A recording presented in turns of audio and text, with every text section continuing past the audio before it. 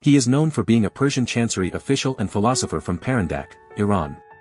He is recognized for his influence on Islamic philosophy, particularly in the field of ethics.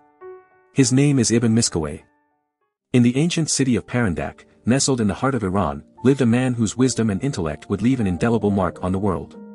His name was Ibn Miskawayh, a Persian chancery official of the Buyid era, and a philosopher and historian whose teachings would shape the course of Islamic philosophy. From a young age, Miskawayh's thirst for knowledge was insatiable. His parents, recognizing his potential, encouraged him to delve into the realms of philosophy and art.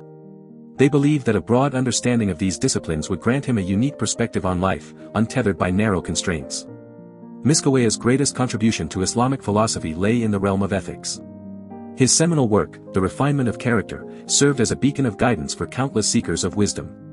In this groundbreaking treatise, he delved into the intricacies of practical ethics, emphasizing the importance of personal conduct and the refinement of character. Hashtag quote hashtag, he separated personal ethics from the public realm, and contrasted the liberating nature of reason with the deception and temptation of nature. Hashtag ENDQUOTE hashtag, Ibn Miskawayh. Miskawayh believed that true liberation lay in the realm of reason, where one could transcend the deceptive allure of nature and its temptations.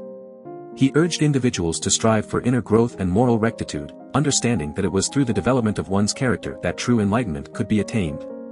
This Persian sage's influence extended far beyond the realms of philosophy. He was a prominent figure in the intellectual and cultural life of his time, leaving an indelible imprint on the fabric of society.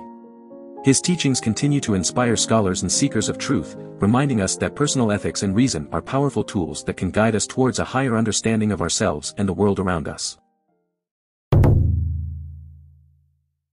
Miskawayh, a renowned philosopher, was born in Ray, a city under the control of the Ziyarids.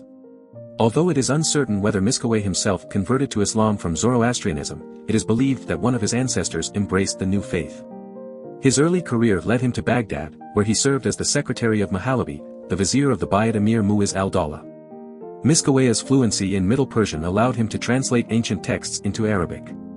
After a long period of service to the Buyids of Iraq, Miskawayh found himself at the court of Rukn al-Dawla, where he spent seven years working alongside the Buyid vizier Abu al-Fadl ibn al-Amid.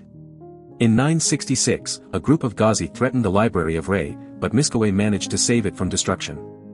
Following the death of Abu el-Fadl ibn al-Amid in 970, Miskawayh continued to serve his son, Abu el-Fath, and eventually journeyed with him to Baghdad in 975.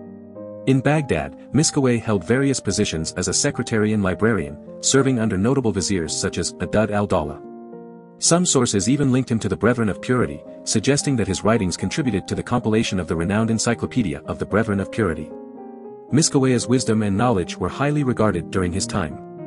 In 1030, Miskawayh passed away in Ray, which was then under the control of the Kakuyids.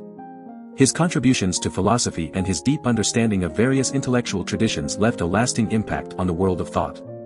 Miskawayh's philosophical insights and his ability to bridge different cultures and languages make his teachings valuable even today. His dedication to preserving knowledge, as seen in his efforts to save the Library of Ray, serves as a reminder of the importance of education and the pursuit of wisdom.